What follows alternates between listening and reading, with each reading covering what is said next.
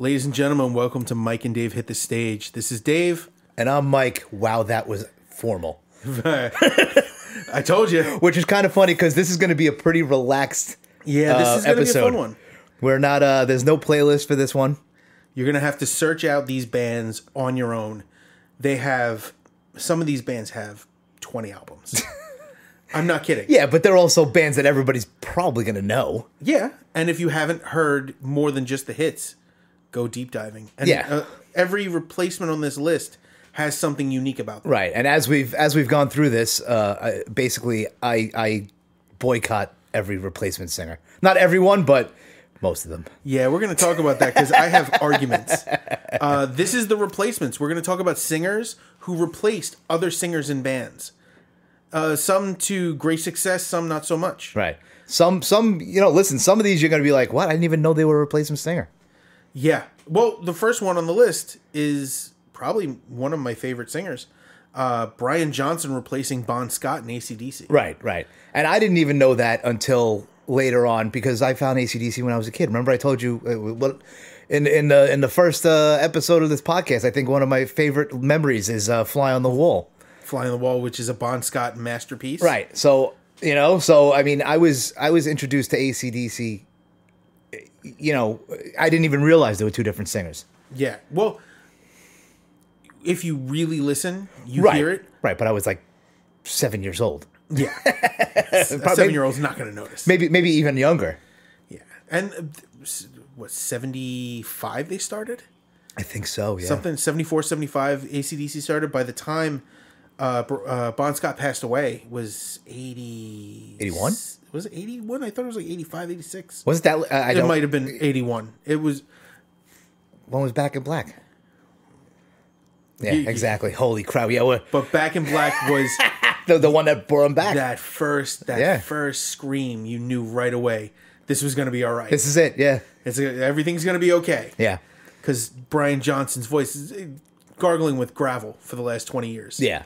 The same guy walks up drinking drinking a scotch, smoking a cigarette, puts it out in one in the other, and then hops on stage and starts screaming. But think about how big they were, even with their last tour. Not, by the way, the Axl Rose tour, Which I did wanna bring up. Yes, man, we were both holding that. I was holding that. I was holding that card right up my sleeve. I was like, wait a minute, there's another replacement singer, but uh, not that one. But I remember when they went out. It had to be 2015.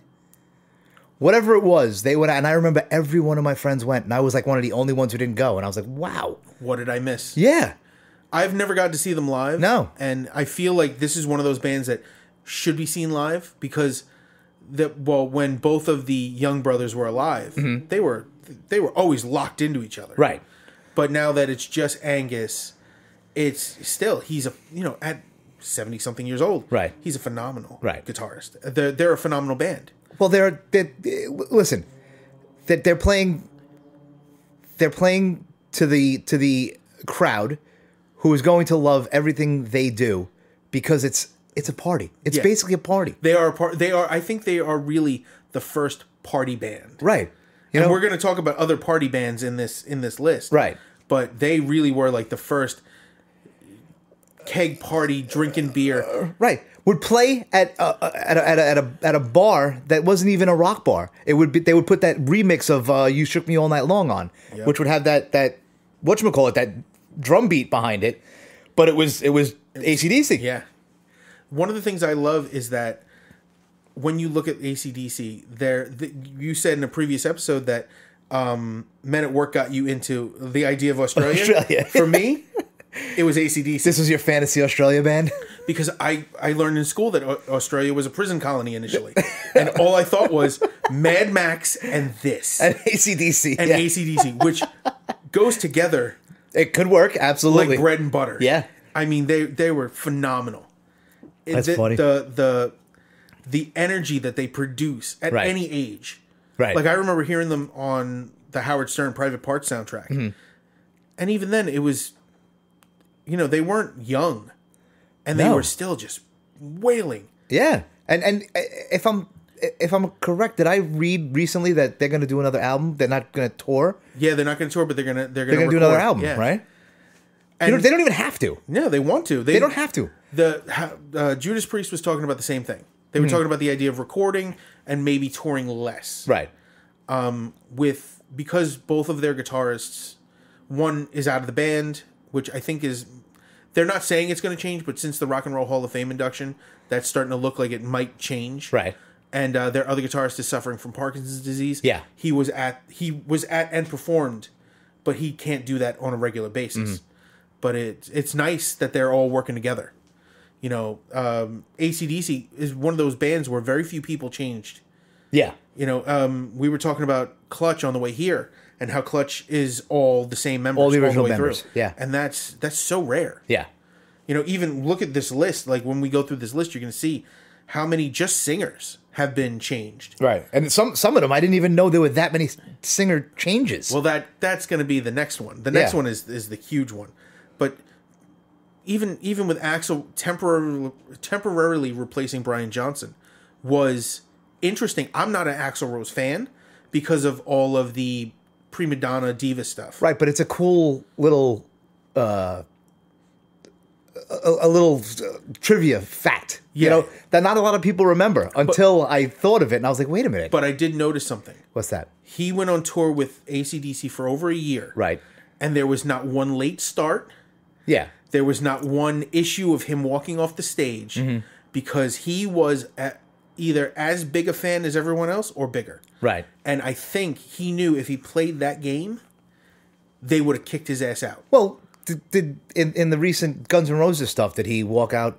No, they had a lot of late starts. Did they? Did Yeah. they? I have no idea. But it, they never said it was a him or a, a, an attitude problem. Yeah. But he was known for that. Yeah. You know, I, he- well, I remember back in the day. he caused yeah. a riot, Right. Because In Metallica, Montreal, right? Yeah, Yeah. because the Metallica singer James Hetfield caught pyro to the face and got burned severely, and he couldn't cover. he didn't want to. Yeah. he didn't feel like he had to, so he did not even a full song. Yeah. slammed down the microphone and walked off, and legit sure. riots. Right. Meanwhile, Metallica's worried that their singer's going to either die or have a, a Yeah. facial face- disfigurement. Right. There's no no camaraderie, Hmm. and that that always affected the way I looked at at um, Guns N' Roses. Yeah. And Guns N' Roses is one of those bands where they had very few replacements Mm-hmm. until the band broke up and Axl decided to do his own Guns, Guns N' Roses. Roses. As I we joke around, when you start your own thing over again, I'm going to start my own with blackjack and hookers. Yeah. Famously, um, amongst my friends, we talk about how Dream Theater, uh, the drummer left, Right. and we joke that he said. Portnoy Yeah. said, "I'm going to start my own Dream Theater with blackjack and hookers." Right. and started Sons of Apollo. Yeah. With former keyboardist from Dream Theater, Right. Derek Sherinian. And isn't that basically what uh, Velvet Revolver was too? Yeah, it, was, was- basically uh, Guns N' Roses Temple- without. Oh, well, it was Guns N' Roses and Stone Temple Pilots, It right? was Guns N' Roses without Axl and Right. Stone Temple Pilots without the rest of the band. yeah. um, I actually really, really love Velvet Revolver. Yeah. And I'm not a huge Slash fan. Yeah. I think Slash ruined uh, the last Ozzy album. The last Ozzy album he played on. Did he see? I see. I I, I, I lost track not with that- Ozzy. Yes, I know you did. Yeah. And Ozzy is actually part of our next discussion. Uh, but that that last Ozzy album, it had very much Slash's writing on it, and Yeah. I don't like Slash's writing. Like I don't, I just don't enjoy it. Really? Um, I love Duff. I don't like, I don't like how he writes. I like how he plays. Mm-hmm. And um, yeah, no, Matt Sorum, Matt Sorum's in actually another playlist that we have working on, and uh, that one I'm very happy about. But I don't, I don't hear from him enough. Mm-hmm. But to go to the next list, Black Sabbath, and this is a huge list because founded by um, Tony Iommi, uh, Bill Ward, Geezer Butler, and Ozzy Osbourne. Later, Ozzy was kicked out and replaced with Ronnie James Dio. Awesome. I love Ronnie James Dio. Ronnie started doo-wop with Ronnie and the Redcaps all the way up through Elf in the in this in the seventies. You get to the late seventies, you have Heaven and Hell. I never saw Elf. I never heard Elf. Oh, Elf is a Is it heavy? no. Is it, it's it's a transition? Is it a It's folky. really? It's it's heavy but folky. I'm It's- gonna check that out. I I I think if you if you love Dio, you need to hear it. Yeah. But then he did he did uh, Black Sabbath for a few years. They were talking about doing headlining shows with Ozzy, Mm-hmm. where Ozzy be the headliner, They'd be backing up, like they'd be opening f- Right. basically, and Dio's like, I'm not doing it, and just up and quit. Really? Why would why would he not want to do just because it was Ozzy? Well, he did not. He referred to Ozzy as a clown Okay. because Ozzy wasn't a trained singer. He didn't try. He was always messed up. Mm-hmm. Right. This go went against most of what Dio did. okay. So he did not have respect for Ozzy. Mm-hmm. Um, in that he up and quit, which from experience is I've done it. It's the most unprofessional thing you can do. Okay. And me, I'm in. I was in a band. I was Right. in, not even a big band. I was in a band. Yeah. These I guys never- were on I never quit on a a huge tour. I was always Quietly asked to leave. yeah.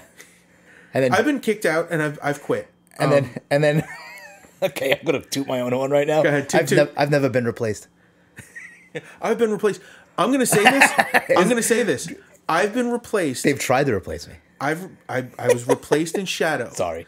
by my friend Schnoz. Yeah. I remember yeah, yeah. Uh, awesome guy, awesome bassist. He's a great guy. He's a great bassist. And then Schnoz moved to vocals, and they got Brian Crean. And I know if anything ever happens and they want to do more, I am not even on the list anymore. he is so good. like there is no, there's no way I can hold a candle to the way Brian uh, Brian, yeah. Green plays. Yeah, he's- he is phenomenal. yeah.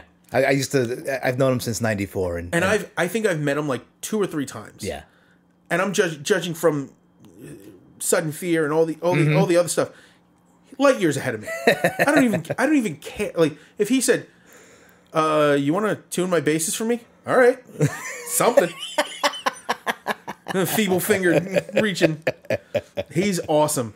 Yes. And okay, so Dio replaces Ozzy. Right. Dio quits. I'm look I'm looking down this list. Go ahead. You're gonna love this because now Halford comes in and does live shows because they were on tour with Judas Priest. What what was his name? Uh, late eighties, early right, nineties. right, okay. I think it was ninety one. okay. So he does a couple of shows and fills in. Is there is there video of that? Yes. I gotta find that. Not only is it it's not only that he filled in, he was doing double duty. He was So doing he priest do and he do the entire priest show, then he do the Black Sabbath stuff. okay. And they were doing he was doing Dio and Ozzy songs Yeah. in his voice. I love That's I love. Halford's voice. Yeah. So he ends up they complete the tour.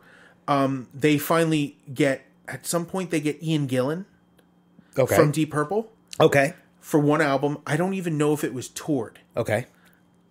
Personally, I never looked into it. I didn't like it. I was about to say, I was about to ask you how it was. I like I never, Deep I've Purple. never heard any of these. I'll tell you, I boycotted all the all the replacement singers. I didn't even know about these. Go ahead. So Ian Gillan shreds his own voice trying to sing for Black Sabbath. really? He burnt his voice Why? out. It's not that. No, but he was screaming. Okay. It just wasn't. It wasn't his deal. Hate. He hated it. Iommi hated it. They ended up releasing it. It didn't do well. Tony Martin comes in. They do uh, four, three, four albums with Tony Martin, including a live album, which includes my favorite version of Black Sabbath. Black Sabbath Mm-hmm. live.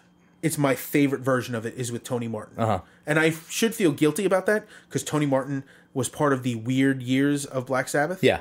but it's so good. It's, Yeah. and his songs are really they're eighties, like late eighties, early 90s Mm-hmm. That feel. And Now, who's writing Tony, Tony's doing most of the Right. writing, and uh, lyrically too, as well, Or I think so. I feel like Tony Martin also wrote lyrics, but Yeah.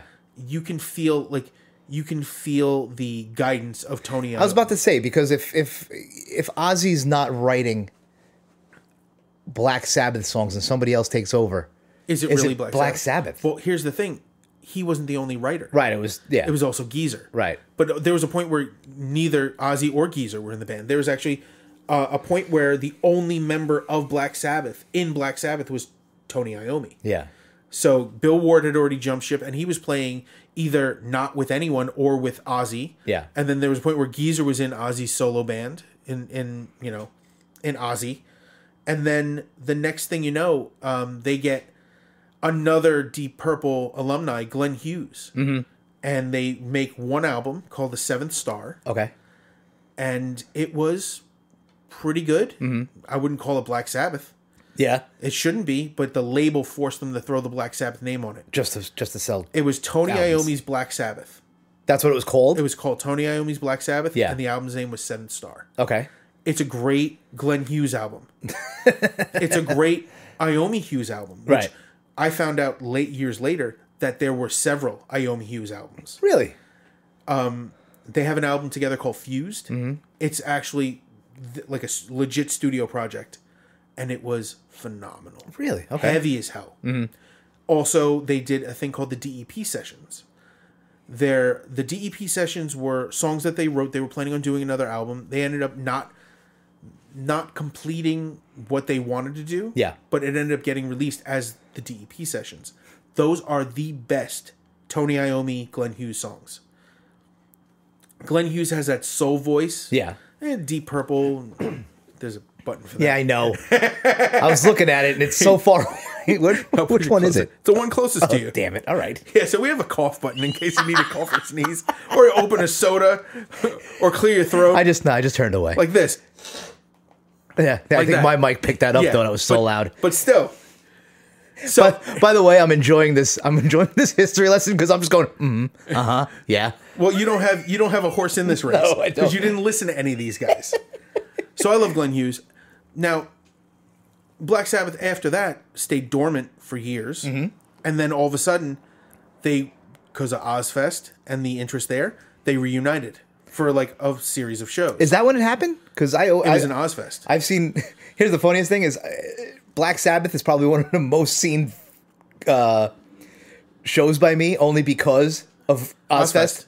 I would go. I would go see the thousands of bands beforehand. Who would you know? 20, uh, 20 to you know what? 25 bands. I, I love all those bands. I watch all that, and then I would see Ozzy and Black Sabbath. Yep. I remember the first time I saw Black Sabbath was in Ozzfest. Yeah, And it was Giant actually Stadium? No. I- I saw them uh, first. PNC in Jersey. I was at with that one. Um, it was actually I the was at first time I saw. Black Label. So they had the two stages. You had to walk from one to the other. And I'm with a guy who has one leg. And he is running past me and Luigi. Wow, running. Yeah, literally, he could run. Oh yeah, Yeah, I'm fat. He, of course, he's pacing me. He's lapping me. with one leg. One leg carrying a beer. Yeah, He didn't care. not So- spilling it. Go ahead. I'm Definitely sorry. not. So we're going from stage to stage. So we go see Soulfly on stage on this stage. We go to the other one, and I think it was that was that was the year. Oh. That was the year I saw multiple bands boot off the stage at Ozzfest. I must not have been in that one. Was- Crazy Town, No, I definitely. Linkin Park, and Methods of Mayhem. I was not at that one. Definitely not because I don't remember any of those. and I now remember one other band we have to add to this list, Motley Crue. oh yeah, Because John Corabi. Yeah. And if there's anybody I like less than Vince Neil, it's John Corabi. see, I, I can't talk about that one either because I, I I was a Nobody listened to it. no, but Nobody no, listened to but I was a I, I was a very light Motley Crue listener. as everyone should be. You Nobody know, should I, like I, Motley I listened to like you know the the the radio hits. That's basically it. You showed me a reg- another one, I'd be like, "What the fuck is this?" I'm not a I'm not a Motley Crue fan. Yeah. But the fact that he got replaced by John Corabi, and then John Corabi left. Yeah. And they got Vince Neil back. They couldn't find anyone better than Vince Neil. Anybody? Oh, I've seen some videos of recently where, oh my god, Everyone's seen that video. Oof. I can do better than that. Wow. I actually I think I'm in better shape than that. and I'm fat. But back to back to Black Sabbath. Black Sabbath had that that huge long career. Mm-hmm. And once they got back with with once it was Black Sabbath again, yeah, nothing happened for a while. yeah, And then that album came out, 13. Oh, I know people don't like it. I Mm-hmm. love it. I really do. And it was for Black Sabbath to for that to be the last Black Sabbath album, it Yeah. felt good.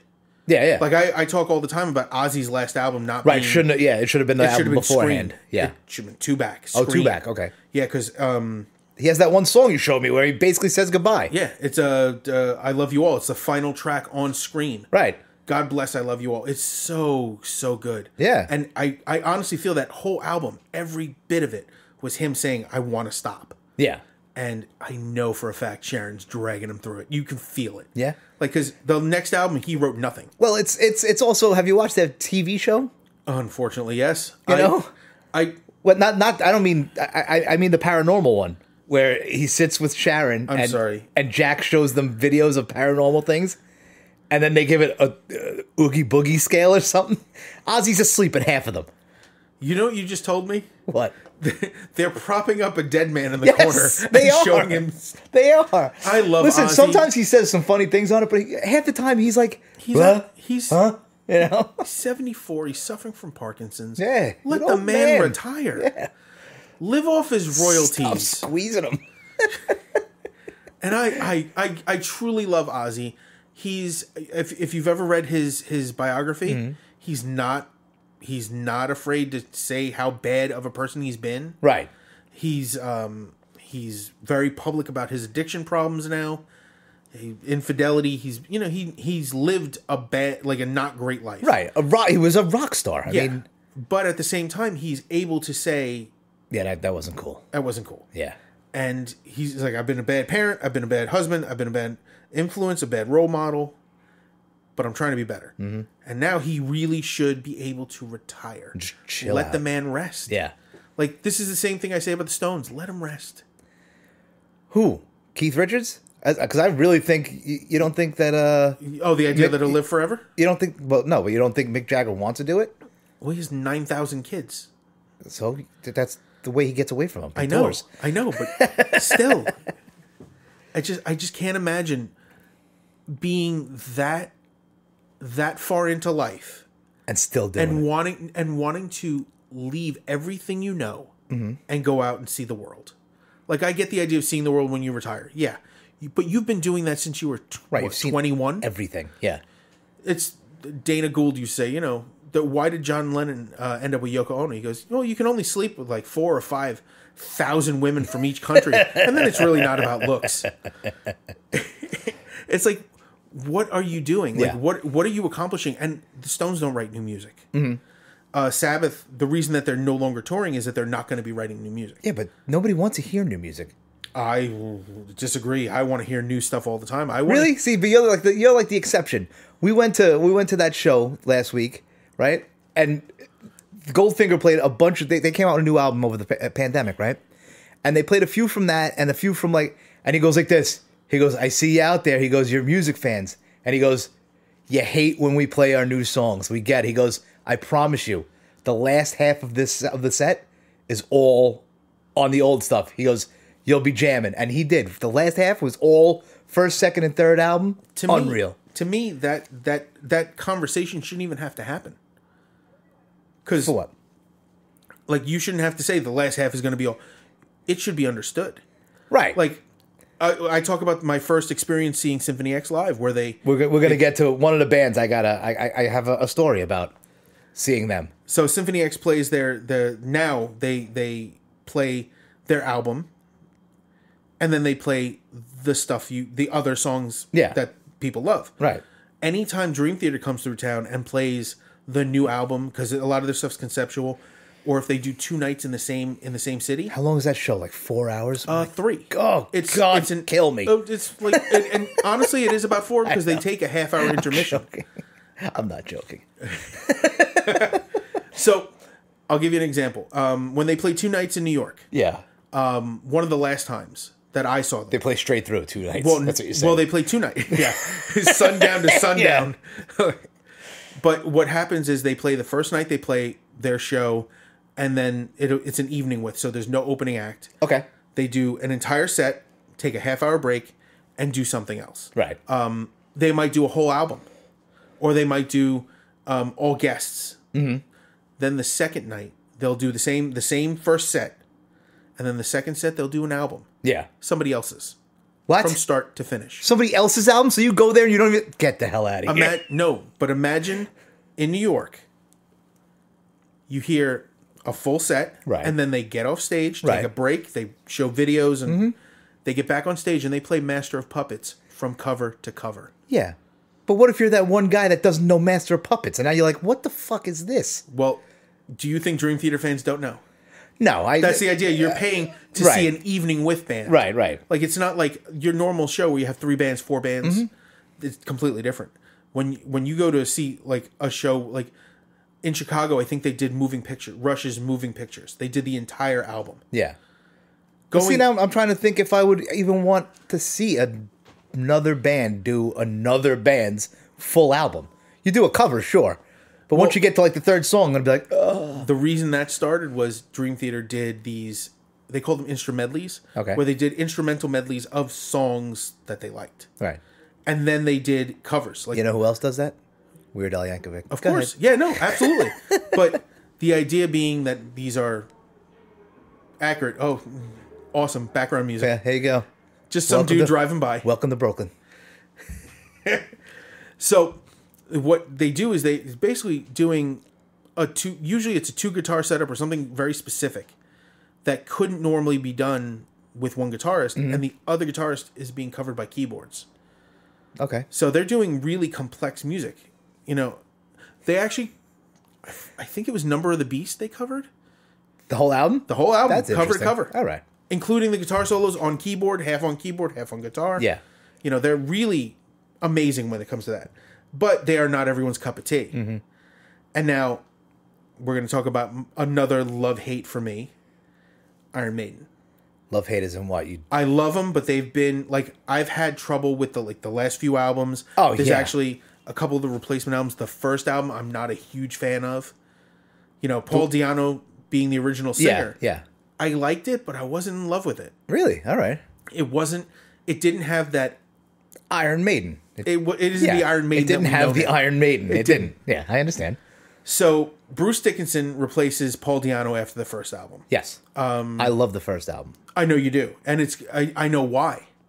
It's got this punk Yes. attitude to it. Yes. And Paul Di'Anno is very much a punk attitude guy. Mm-hmm. And that's why I think they didn't want to keep doing it. And they found Dickinson. Uh, I forget the name of the band he was in, but I don't know. they they found him. He, they were enjoying him more than anything, and they recruited him and they got him. And he writes his story. His songs aren't based on feelings or emotions; they're based on It's- history and right. and yeah. poetry. Yeah. and that created a genre of music. Mm-hmm. You know, that did. I don't think that existed before Iron Maiden. What? That's Power metal. Is that what it's considered? Is Yeah. That, yeah. You know, as much as as much as we, I know you don't enjoy power metal. Mm-hmm. You like Iron Maiden. Yeah. Oh, well, yeah. It's like enjoying. It's it, it's It's one of those basics that you have to. It- It's it's almost like um, you know, when you go through school, there's those certain those the certain uh uh classes you have to take. Yes. Right. Iron Maiden's one of them. It's PE Right. Someone says they don't like Iron Maiden. You're like, what? on purpose. Yeah. How? No, I'm not. I like I said, I have a love hate relationship Right. with them. Well, Also, I got the, I got the same thing with you. I don't like the newer stuff. I don't. You know, I listened to it once and I'm like, eh. I think I stopped at uh. Did I tell you? I, I stopped at um, Fear of the Dark. Okay, so you you checked out. No, I wouldn't say early, mid. Yeah. But what you didn't catch was the next change was uh, Blaze Bayley. Yeah. after Dickinson left and started his own band, Mm-hmm. which, if anybody wants to look it up, Dickinson's band, Bruce Dickinson, is phenomenal. Yeah. The um, I, Balls to Picasso is an okay album. Uh, the Chemical Wedding Mm-hmm. is amazing. It's And the name of the band is just Bruce Dickinson. yep. Okay. It's a solo album. Like Yeah. Halford has, Halford and Ozzy had their own solo Mm-hmm. al- solo bands. Dickinson had his, and it's phenomenal. I saw I saw um, Dickinson tour. Um, I think it was Chemical Wedding. It was just before he rejoined Iron Maiden, and it was really good. Mm-hmm. Yeah. it was a great time. The producer Roy Z was playing guitar. Um, uh, Adrian Smith was on on other guitar before he rejoined Iron Maiden, turning them into a three guitar Mm-hmm. Yeah. band. Which is when you see him live, it's unbelievable. Huge respect for Iron Maiden for not Kicking replacing the out. guitars. Yeah. They had they could have said, you know, we only really need 2 Mm-hmm. but they love the guy and adding to a group can only really add. Yeah. And I love that. Yeah. You know, even though he falls off the stage and breaks his arm. I'm not holding it against him. It's life. Listen, listen. When we have go through war stories, uh, I fell off stage once. Once I, I haven't think fallen once. off stage, but I've fallen through stages. I did. I did. It's on. It's on. It's on. It's on tape? It's on video. Do Not we- only that, it's. Can we bring that in? Uh, have you ever seen the documentary? Docu documentary. The UFK, sudden fear, and Yes, I didn't. More I haven't watched it all the way through. really, you didn't must watch the UFK part. I fall right off the fucking stage in the Continental. Yeah, I'm gonna need a copy of this. hang on, we can. That's gonna be my hang new background on my phone. This will be. This will be. It's. It, it, you can isolate on YouTube the UFK part, and we can just watch. We'll watch that after this. Watch. We're not gonna watch it. I'm gonna record it, and I'm gonna play that. I'm gonna make it a motion video for my background on my phone. Okay. Well. uh So just constantly falling. So we're gonna go on to the. Oh wait, we didn't talk about Blaze Bayley really. Yeah. Well. So- yeah. There's no reason why. I disagree. So he Dickinson leaves. Yeah. Blaze Bayley comes in and does two albums. yes. Uh, the X Factor and Virtual Eleven. Neither of which I. They are the tenth and the eleventh album. okay. X Factor's good. Virtual Eleven, not so much. Um, Now again, uh, how are they Iron Maiden They are straight up Iron Maiden albums because they were written by everybody else. lyrically and everything? Yes. Okay. you can feel it, and actually so much so that now uh, a song that was on at least one song that was on those albums, Mm-hmm. uh, "The Klansman," is sung regularly by Dickinson. Wow. Just kidding. It's the fact that Klansman. well, it's it's not that it's the Scottish Klansman. Oh, okay. no, it's not that white. Hood. Yeah. Like, wow. That's the one they pick. All right. they're they're ahead. English. They don't know anything about the KKK. Did you hear what you just said? I did the KKK. yeah, we know what they are. They exist. They are referred to in the United States as the Klansmen. Yes. But these English dudes Yeah. don't know that. They think of Klansmen as Scotsmen, Yeah. With the kilts. the kilts and the big sword or a musket in some cases, depending on where in history you're looking. Mm-hmm. But that's what they think of, and that's what that song's about. So, Blaze Bayley, two albums. I, th- I don't think he even had a live album, and he's out again. Right. And Dickinson's back, and it's been Dickinson this whole time. yes. Blaze Bayley puts out solo albums under the name Blaze and then eventually Blaze Bayley. Um, they're not bad, like especially the first two, Silicon Messiah and the Tenth Dimension are really good uh, Blaze Bayley albums because they are not trying to be Iron what he was in Iron Maiden. Right. He is not trying to be an Iron Maiden ripoff, Mm-hmm. which is my argument with some other bands. Yes. He's trying to just being himself. right. You try. Then he's not trying to live off of the, fame name. of.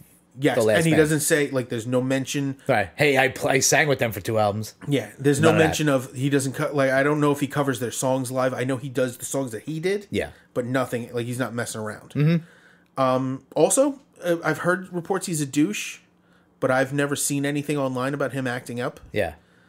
Paul not- Di'Anno, not so much, Yeah.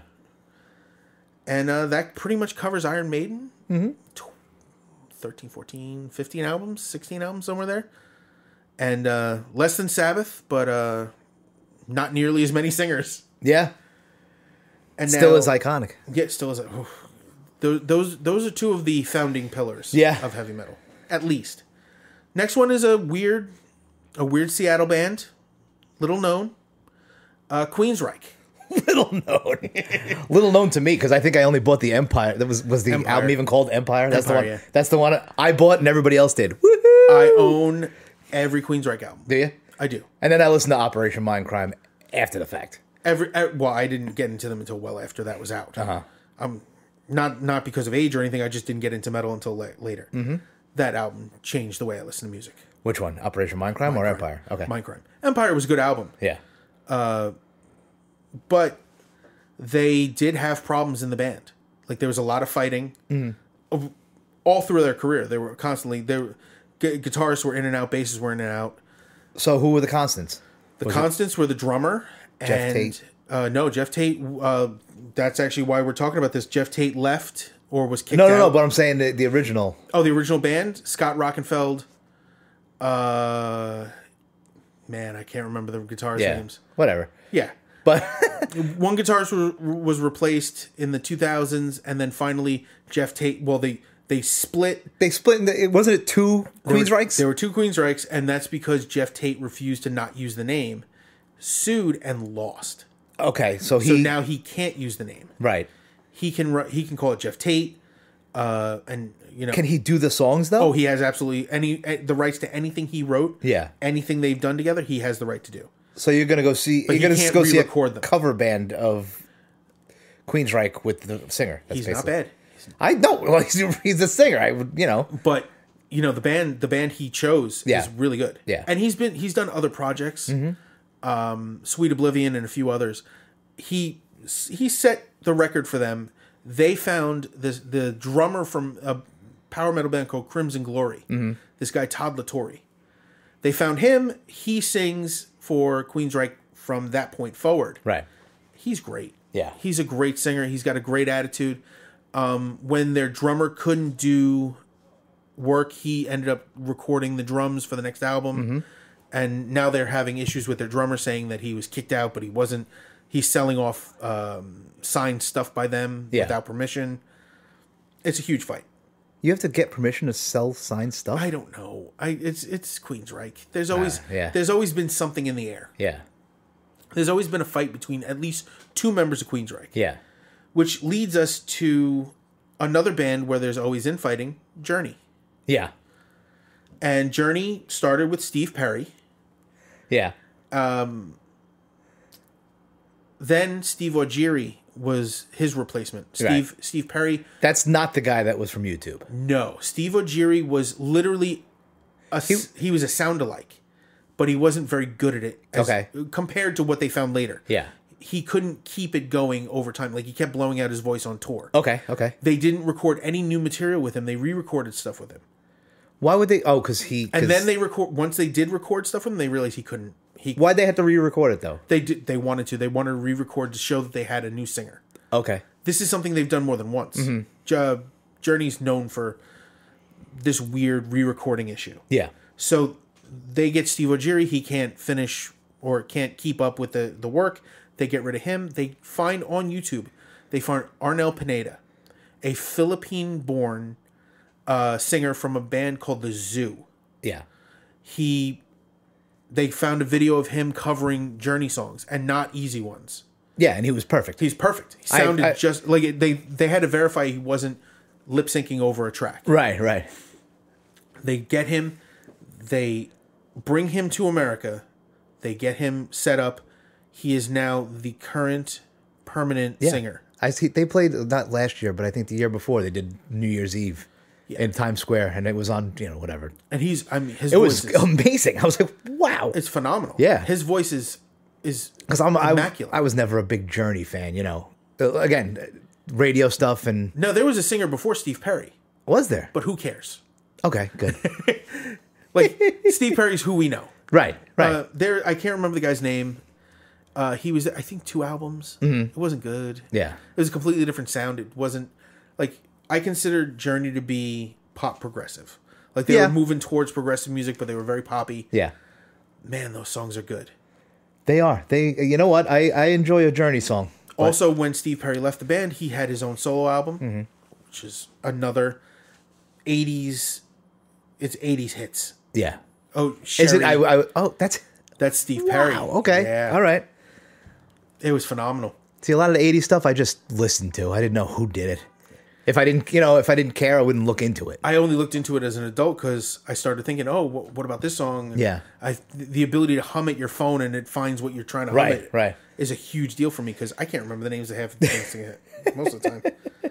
So now we're going to talk about the one we skipped over Yes. because this one, this one's actually pretty pretty straightforward. There are very few changes in this band, but the one change It was huge. and it it led to the first discovery on this podcast. Yes. My first new piece of information. So Mike Patton replacing Chuck Mosley. right. So he replaced him because Chuck Mosley was basically a disaster. He was all over the place. Yeah. And he couldn't. He couldn't keep. They, they, couldn't. They couldn't keep going if he stayed. Yeah, they were. He, he was. He was kneecapping himself. Right. So what they did was they they. I, I'm not even, not even sure how they found Mike Patton. I don't know. Yeah, Uh, I'm not- Well, he had been in. I know he had been working with Mr. Bungle before. Yes, and they, I think they found him uh, through a, a, a Mr. Bungle like a demo or something like that, Probably. and then and then they they brought him in and he just fit. And the the the thing that you that you said that you learned from me is that that first album, the real thing, was written for Chuck. was Mosley. written for Chuck Mosley. and it has his voice and his style in mind, right? which is incredible, because I really feel that is my favorite Faith No More album, and I like Chuck. Mm-hmm. I I do like Mike Patton's voice better. Yes. He's uh for some people Mike Patton's an, acquired taste though. I know a lot of people who they they they don't like Faith No More because of Mike Patton. I, it's funny because I the other bands that he's in I like less than Faith No More, and not I wouldn't say because Mike Patton he's not the factor. it's the it's Uh, it's the listen. mu- it's a Mr. Mr. Bungle is one of my other favorite. The, that first album, that first not the first album. No, I'm sorry, their second album, uh, the one with the clown on it. Ugh. That is really. I just I, Love it. All of, Love it. All of the If I was on a desert island, that uh, that album has to come with me. is that coming? Yes, hundred That's going to be on the desert island. Hundred percent. Okay, That and every Faith No More album, including the Chuck Mosley album. I could I could I can agree. But the Chuck Mosley was great. The real thing was Yes. my it was is That's what got be- me into them. Yeah. That is my favorite album. My favorite album by them is Angel Dust. I know you've and said that's that. everybody. Almost any. I don't. I don't want to say real Faith No More uh, uh, fan. Angel Dust is Mike Patton. Now he could do his own thing. I get that. It's- Angel Dust. it's Angel Dust has that ahead. feeling. King for a Day is their first. I love that one too. of course, but it's the first step away from their guitarist Jim Martin. Yes, yes, which made me nervous, It, it was it was nerve wracking. but I loved it. I loved it, and it, it- needless to say, Faith No More is one of my favorite bands. Yes, uh, I saw them when they came back, for Sol Invictus. right? Soul Victus, which, by the way, had to grow on me. Oh, it, it still hasn't. I'm. I I'm- love it. I love it now. But it falls into the same. Like to me, it falls into the same feeling as all the other projects he has, Yeah, where they're it's cute, yeah. but it doesn't do anything. Well, the first song they released was uh, "Motherfucker," yeah. right? And I remember listening to it. I forget who I was with. Hopefully not your children. No, I was with somebody, and I remember them looking at me after it was over because it was released as a single, and it ended, and they looked at me and they went, "God, I hope it gets better after that." And I went, I went, you know what? Yeah, but I listened to that one, and that one grew on me, and then Superhero, and Eh. so what they did when they came back was they they did it reverse of what you said. They played all the hits in the front, Yep. and everybody's going nuts And then they kill it with then, all the old shit. Then no, and With then, all the new shit. And then all of a sudden, they played Soul of Vicus front to back till the end, that sounds. and it came out that day, I believe. I would say that sounds like the reason I didn't go to see that. I believe it came out that day, and I went. Everybody was like, "They're gonna, they're gonna, they're gonna play one of the old ones soon, right?" Uh, and then I hated, I, I, I loved it, and I hated it. well, with his his distaste for Epic, Mm-hmm. because That's what, yeah, um, it's the same argument that um, Jani Lane had about Cherry Pie. He hated that song. Mm-hmm. Right. Hated, hated, hated. Well, now it makes sense why he hates Epic, right? What? It wasn't his song. It, yeah, but at the same time, he hates it because it's like It's the famous. It's the yeah. do the thing, play it. Yeah, yeah, yeah. do the do the bit, Yeah. play the song, and he, he despises it. The same way Radiohead doesn't play Creep. Um, I'm whatever Pearl, I forget what song Pearl Jam does refuses to play live now. Uh, Probably Jeremy. Probably Jeremy, but um, there are bands that just despise their hit. Yeah, I can get why he hates it, yeah. Uh, definitely, but come on, it's a good song, Right. And- a- and you got to do what the what the people want to hear. My one of my favorite live albums is Live at Brixton Academy, which is Faith No More. Mm-hmm. Yeah. and he's singing this song is a song that starts with an E, Yeah. and they break into it. He doesn't Right, even right, want to say the name. Yeah. The same thing when they cover uh, War Pigs. He doesn't like that either. He doesn't like live. Yeah. he meh-mehs parts of the the, the lyrics. The Day of Judgment God is calling part Yeah. of War Pigs. He man yeah. yeah, but that's him also. Yeah. So who knows? Uh, but yeah, but he was a great replacement. And He then they was. then like you know they disappear for, geez, twenty years, 15, 20 years, yeah. right? Over. And then they came back with the with a new album. I'm not a fan of that album, but they're doing fantastic. Right. I just wish they would come back to America and hopefully not do fucking Ticketmaster where I had to pay six hundred dollars to see them, which would happen Yeah, I know. for them. It would happen, and it stinks. Speaking of bands that aren't coming back, the next one on the list, Genesis. Yes, Now, the reason Genesis isn't coming back is Phil Collins is now old. well, he's old And he's, he's also sick. He's in pain. Yeah. He has back problems, years of drumming. Right. He doesn't play the drums anymore. Where have we heard He- that from? What? Oh, But the only thing, the only thing is, is that uh, you know Phil Collins is like seventy five. and responsible for the biggest payout in British history as far as alimony. I mean, that God, we call settlement. out Mike so much. I'm, we love you, dude. We love you, Mike. We're, we're just bitter because we really want to play. so he replaced Peter Gabriel in Genesis. yes, which is shocking because Peter Gabriel himself is amazing. Peter Gabriel is phenomenal, but very avant-garde. I was about to say he's very wacky.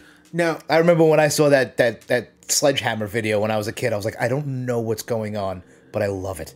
I, I it's so weird and wild. Right? All, all his videos were strange and avant-garde because he started back into popular music at the same time MTV started getting big. Mm-hmm. So he took a new medium, found an art director Right. that would work with him, and they created all new stuff. Like some of his songs are just straight up creepy. Yeah. Uh, I Shock the monkey. I don't even know what that means. Intruder.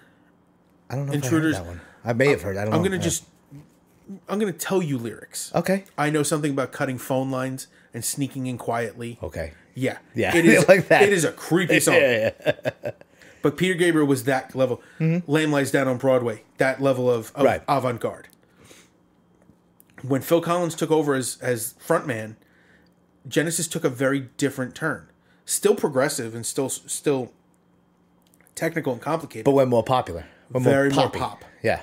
Um, I we use pop as as a descriptor. It's popular music is popular music. Right. But pop is a style. Yeah. It's an upbeat man. Those the the I can't dance and all that stuff. The radio Right. stuff. Land of Even Confusion, Sussudio. Sussudio. Have you ever heard of the Phil Collins Big Band? No, I thought you were gonna do. No. I'm sorry. I thought you were gonna go right into American Psycho just now because you really set it up like that. This is Sussudio.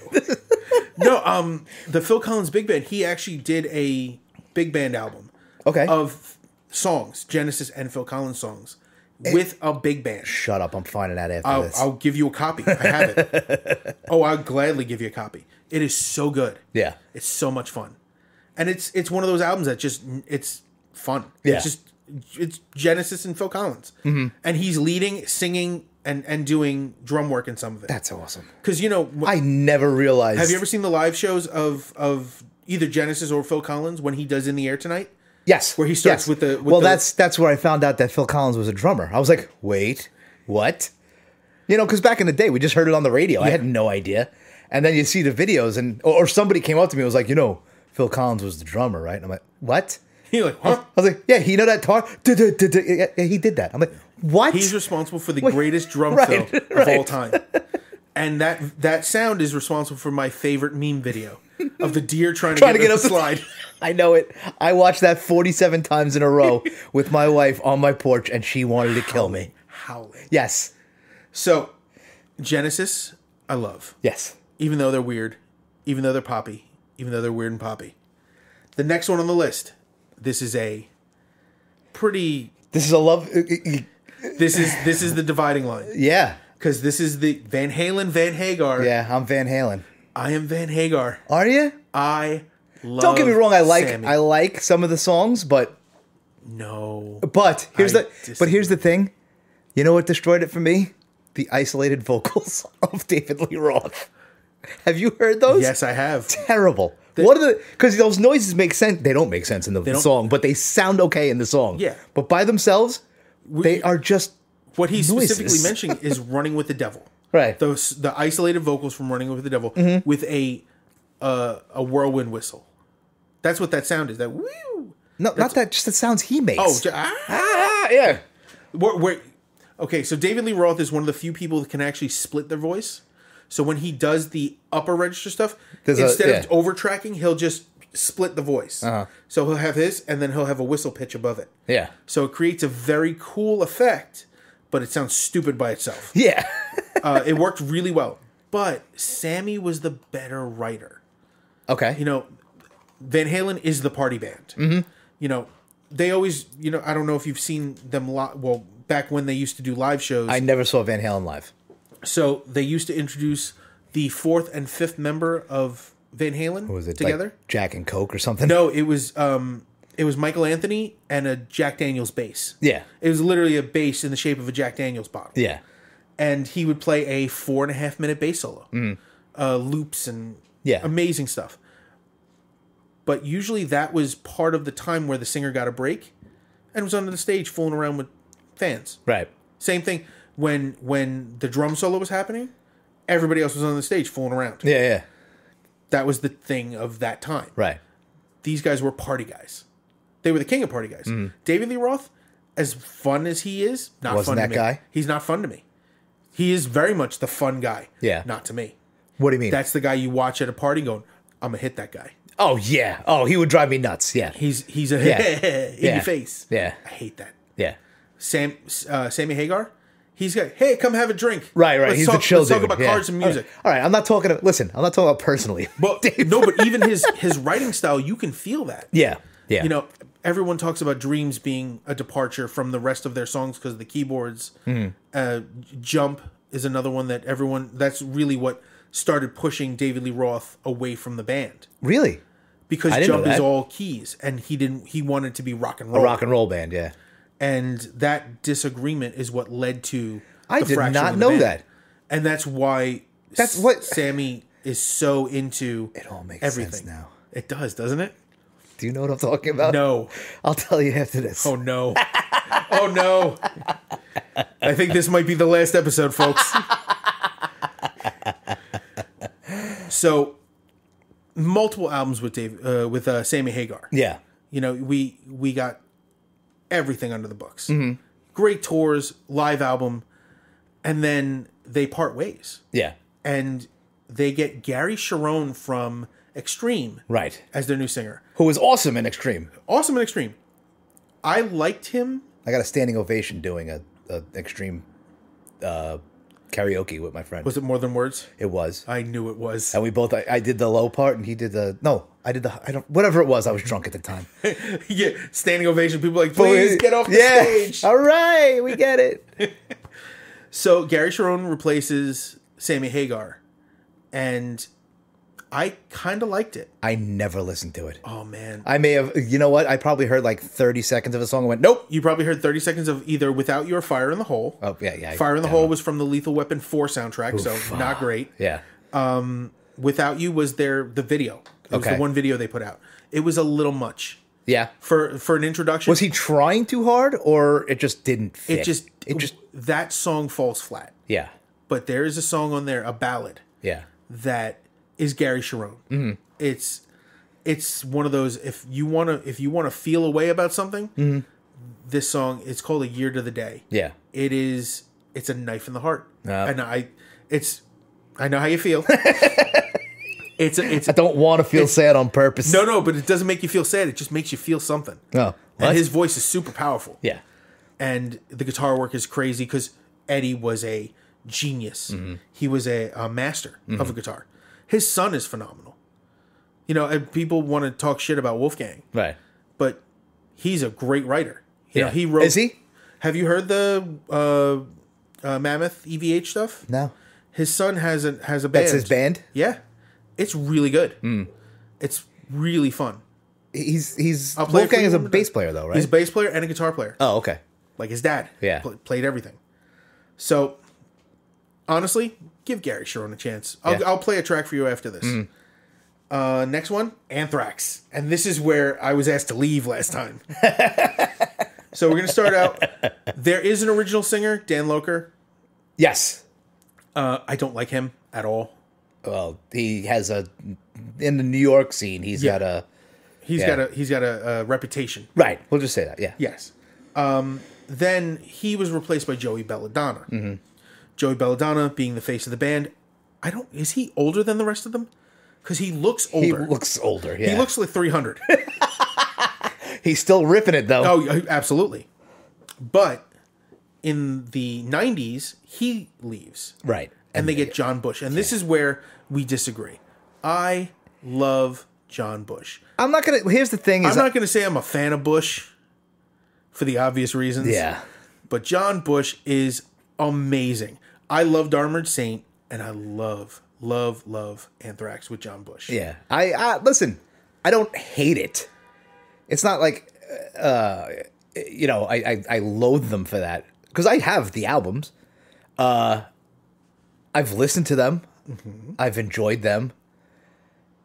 When he comes back, when you know Joey Belladonna comes back, I'm done with John Bush. See, I still I still done. listen to those. No, I still listen to those albums fondly, Yeah, all right. including um, the Greater of Two Evils. I wouldn't yell at you if you put them on, but No. I'd be like, eh, all right, this is the Anthrax album you pick. Even better, the Greater of Two Evils, their their recorded album, like their in studio recorded album, of them covering the Joey Belladonna songs with John Bush. Uh-huh. I really like. Not all of them, but there are some songs that I really like he, the way he sings. okay. the one of the things that I love about um, John Bush is the California style, that California style to his voice, where it's a little more Yeah. Like the, there's obviously a, a not an inflection, but the way he sings, Right. and his screams, his screams live are ridiculous. And then John Bush eventually leaves after the. I think they they did a tour where they tried to do both singers Really? I didn't know that. and it failed. Yeah. Like it just couldn't get off the ground. Everybody parts ways. Maybe it's, eh, It might have been the same reason Ozzy and Dio Yeah. didn't work. Um, they end up getting uh, Dan Nelson, and I believe Dan Nelson is a Long Island guy, I think so, yeah. And he was good.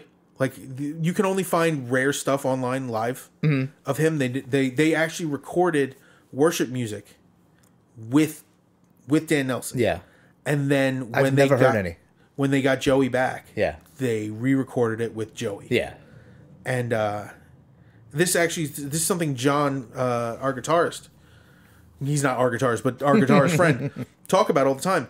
Uh, he is mad at Anthrax for getting rid of Dan Nelson because they didn't do it in a professional way. Oh, It was one of those he all was right. fired without knowing he was fired, Really? which is the next band is also guilty of the same thing. Mm-hmm. But uh, in this in this case, Dan Nelson was replaced again by Joey Joey Belladonna. Right. How So- did they do it? What, they just he just didn't call him for practice anymore? I, I, think they said like they just stopped calling him, and then just they announced on like hey, Joey's back. probably on Eddie Trunk or something that Yeah. Joey's back in the band. Yeah. Because all these New York guys all know each other. Right. Now we're going to talk about the band. Yes. The biggest controversies, I think, amongst these bands is Judas Priest. Because Judas Priest, Rob Halford held it down for all these albums. Mm-hmm. They switched styles for 1991's Painkiller. Loved it. Favorite fucking album. It's not my favorite album. it is. damn. It Favorite is amazing. Pain, Painkiller's unreal. My man. favorite song on that album is Between the Hammer and the Anvil. I like that too. I like the whole album, but, But my favorite album is Turbo. Painkiller makes me want to throw up. Go ahead. Turbo or Good Ram way. It Down are Good at the top. Go ahead. So, 91, this comes out. They're still leather. They're still motorcycles, tough.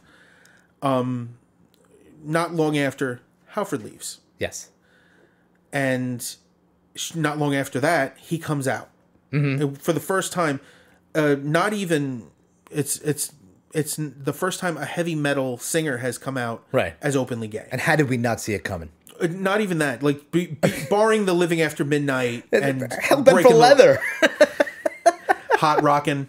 The video for hot rockin' should have let you know everything that was going, but it didn't matter. But and no, the you one know what thing I, love loved. about it? Right. I, I was about to say the same thing as you. Everybody went. Everyone. All right. Yeah. Cool. Well, there there are a group of people like, oh fuck that. Of course there are. But when I heard, uh, okay, he's gay. Yeah. The, the, When's the next Judas Priest album The out? way he the way he announced it, Mm. you know, it was an interview with Metal Edge magazine. Right. If you could if you could sleep with one celebrity, who would it be? And he said Howie Long. now that's that's Yeah. hilarious because Right. he had never said anything like that before. Right. And the guy's like, "I'm sorry, what?" He goes, Yeah. "Yeah, no, I've been gay all my life." Right. And he's very he just decided that was going to be the the the place to stand up and say Mm-hmm. it.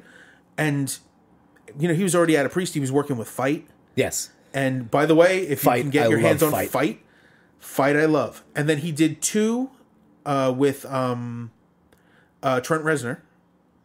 He did I think I an remember that. industrial album with Trent Reznor. Okay. Uh, I can give you a copy. Yeah. It's awesome. And then Halford. Yes. That And I now, remember. Yeah. while he was doing uh, Halford, Judas Priest picked up again and got Tim Owens, Mm-hmm. Another replacement from a cover band. right. Who sounds almost. I mean. I mean. It's like a. It's like a. They got him because he was a, sound double. alike. Yeah. Not so much though, because live they had to drop down a whole step in tuning. And that was- Everything's played a little deeper. is it true that that that uh Rockstar, yeah Matt Damon movie or Mark Wahlberg, Mark Wahlberg, Matt Damon, they're all the same guy. Whatever. some rando. Yeah. It is very Some Boston dickhead. Sorry. some call me at the docks douche. I don't want to make fun of Boston people, but come on. you live a, you live in a harbor. Shut up. I love Boston, by the way. It's a beautiful. the band, place. I mean. What? Oh, poor Brad Delp. Oh, that poor. Who knew you couldn't barbecue in your No bathroom? He, he knew you couldn't barbecue in the bedroom. That's why it ended. Anyway, no, I mean Boston, the city is awesome. It is it is a beautiful place filled with the horrible people, Go ahead. I'm sorry. monsters all the way through. Um, so they got um, they got Tim Owens, and they did one album. Then they did a live album, which is my favorite heavy metal live album. Okay. uh, nine, uh, 98 Live Meltdown, which is mostly Judas Priest songs. It's a double disk Um, and the new songs are in the middle, like they're mixed in with everything, but they start and, start and end on great songs. Hellion, Electric Eye, Sentinel, And it's all him. It's, it's all. all Owens. Yeah. They do another album, Demolition. It is a wet fart. Really? It is terrible. But it's not, I can't blame him. Right. I can't blame the band.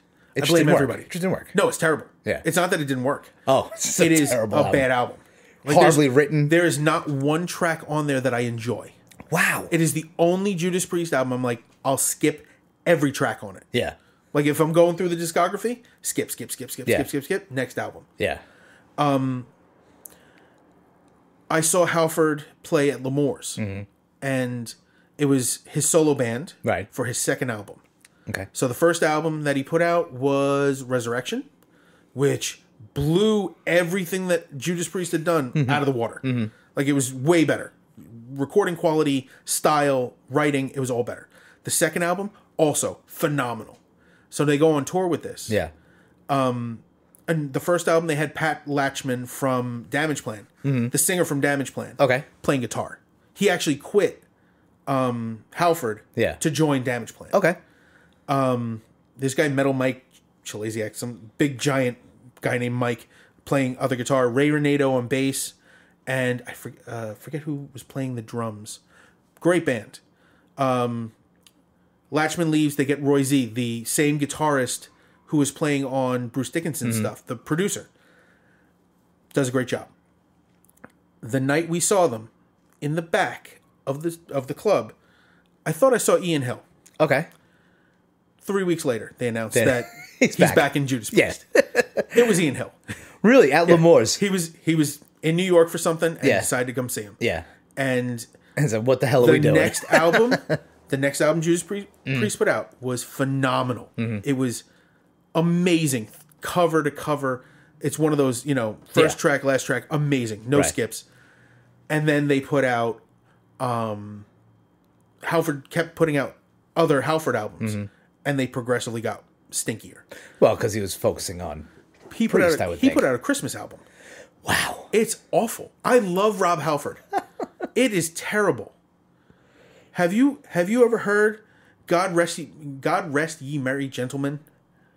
By Rob Halford? Yeah. No. I think he sings "O Come All Ye Faithful" too, which is inappropriate, highly inappropriate.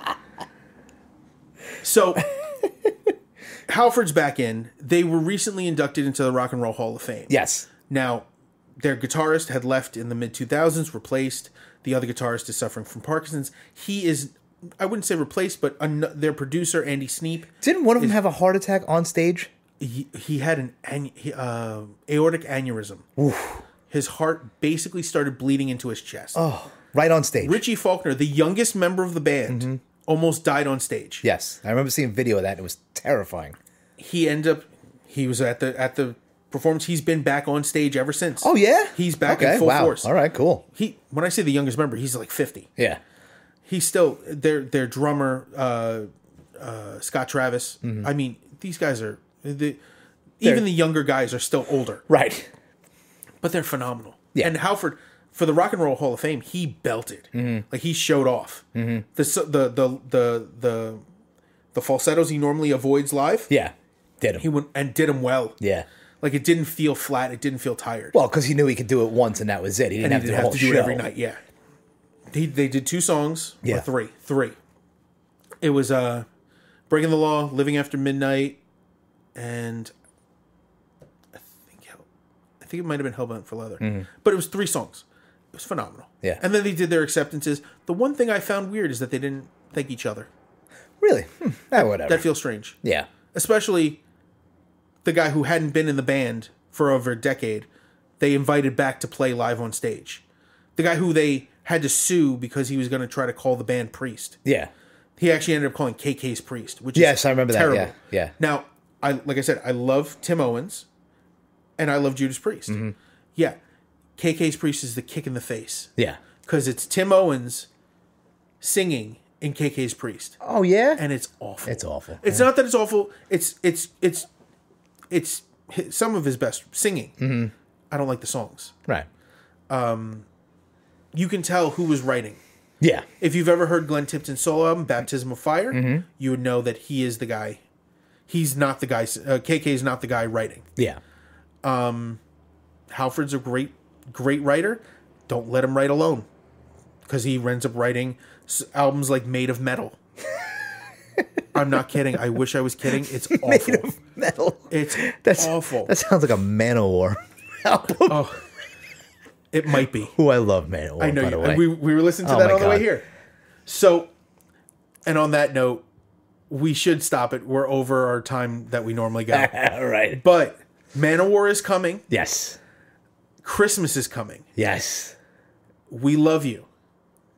I love you. I love you, dude. Guys, take care of each other. Take care of yourselves, and we'll see you real soon. Bye bye.